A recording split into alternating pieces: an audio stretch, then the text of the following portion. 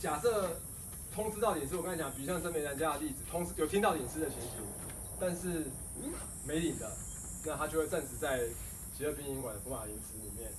然后等候领事，然后过一个时间，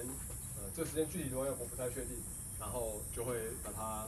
交给吉勒宾馆，他们就会把它做图上的工作，这样子，那图上就帮他刻一个小小的墓碑，然后上面写他的名字，然后原上啊就是名字，然后这个就是枪决的日期。所以你现在等下会看的那个所有的墓碑都是他枪决的日期，看他的姓名。那大部分美领事外这边的比例里面，本外省籍一定更高，因为就是外省籍大部分没有亲人在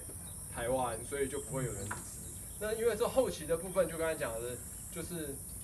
蛮多的，就是没有人领事就会被送到国王医学院当所谓大体老师。这边其实啊，我多讲一个